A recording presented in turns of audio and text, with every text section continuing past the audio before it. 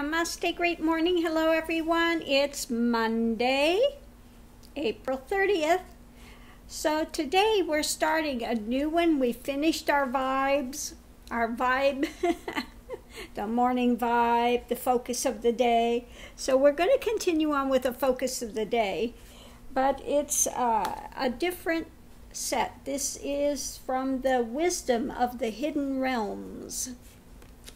So the first wisdom is Sisters of the Seasons. Sisters of the Seasons.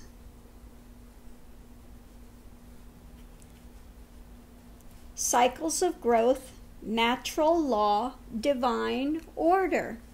Okay.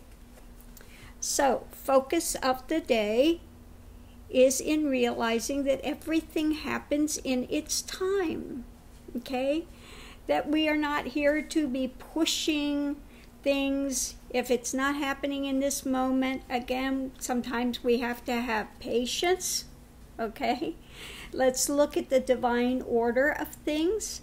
Look at how the earth moves, how things, you know, natural seasons come and go.